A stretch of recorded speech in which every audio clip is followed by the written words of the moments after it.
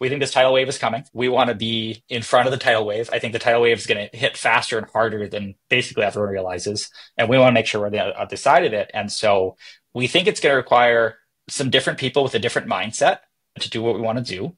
And yeah, you mentioned like your job is going to be primarily managing a bunch of AI interns to get work done rather than necessarily doing it yourself. And we're seeing this especially right now with code. If you're someone who is using like the cursor agent mode. Like, you know, a good software engineer right now is going to have at least one agent running all the time doing something, right? They start the agent off and then they go start working on the next problem and it goes off and solves it. And like we have found that it's possible right now. You can take a bug report from Asana. We can copy it verbatim into that agent mode and ask it and it'll solve it in one shot in many cases, which is pretty amazing. So on the software engineering side, it's like we're looking for people whose skill set is primarily not execution, it's not writing code, it's primarily understanding the problems, understanding the components involved and how they should interact, and being able to like frame those prompts. And so the value is shifted from people who can get things done to people who can understand the problems and structure things.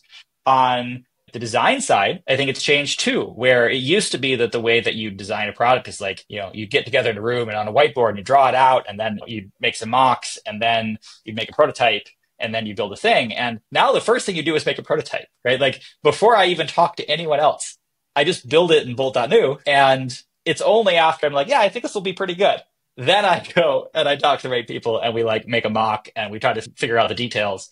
But it lets us kind of cycle through bad ideas like much, much faster. So we're looking for designers who have already made the shift of I don't start with a mock, right? I don't even start with a wireframe. I start with a working version that I've built with Bolt.new or a tool like that. That's the beginning.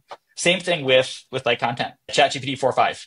It's really good at writing, right? And I can produce, you know, content that's at a pretty high bar in a, a fraction of the time.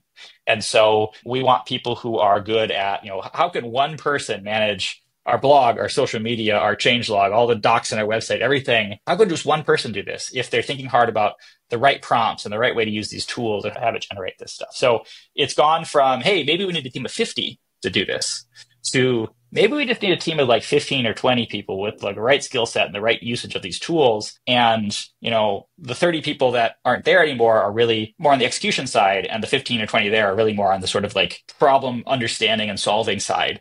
And I think it's going to be a big shift. And, and we actually let a couple people go who were really very talented, very good at what they did, great employees, great attitude, but not quite right for this this new world that we felt we need to get into and not super super passionate about it either and so we thought a change needed to be made